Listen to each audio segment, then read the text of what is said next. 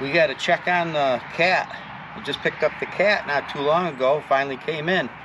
So uh, Gary from Mud Brats and Mike Gulitz did a uh, belts off for cancer. You got to take your belt offs typically in the summer anyways for storage. Hang them up, wash them.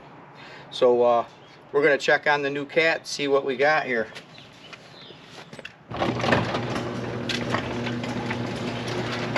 Been uh, working on the new kitty, seeing if he's litter trained, so uh, let's see how he's doing.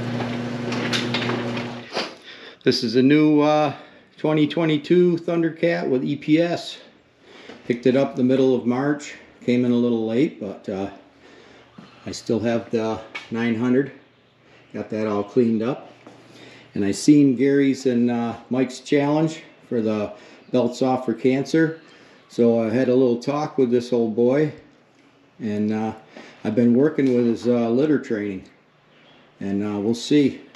See how he's done.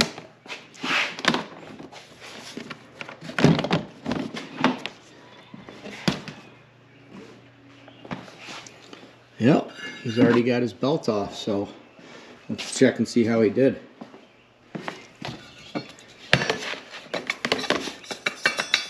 Yep. Perfect. You did a good job, kitty. All right. So that's one less I have to do. Yeah, you're a good boy, aren't you? Yep.